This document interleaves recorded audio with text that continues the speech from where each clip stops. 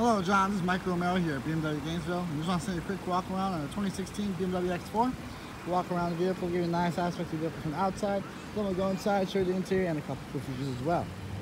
The vehicle does have all-wheel drive and does have 240 horsepower. As you come around the rear, I want to let you know the car does have a backup camera.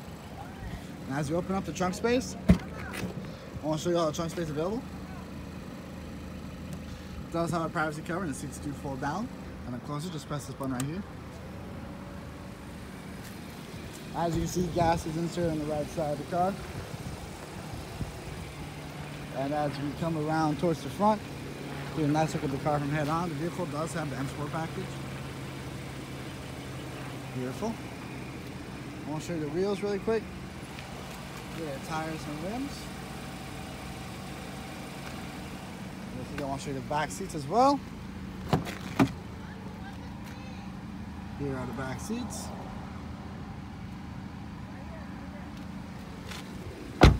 The car has comfort access, so as long as you grab the handle, it will unlock automatically. Right here, the master window controls. Right here, the powered memory seats. Here's the driver's seat. Here's the passenger seat. They're both sports seats, and the car does have automatic headlights and automatic windshield wipers.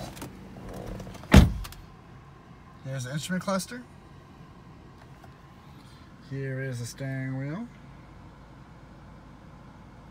Here's the universal garage door opener. Here's the iDrive display screen. Here's the climate control center. And right here we can see the safety features in the vehicle.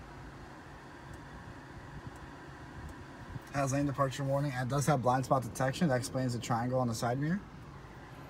Then right here we have the automatic transmission, switch between drive modes, hill descent control, uh, side view cameras, parking sensors. This is the iDrive controller with a touchpad. And right here is the center console with a USB port, aux port, charging port. And right up here, the vehicle does have a moonroof as well.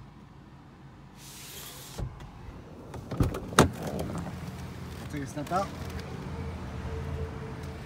And there you have it. 2016 BMW X4. We hope you have a wonderful day and hopefully we'll see you soon. Bye-bye.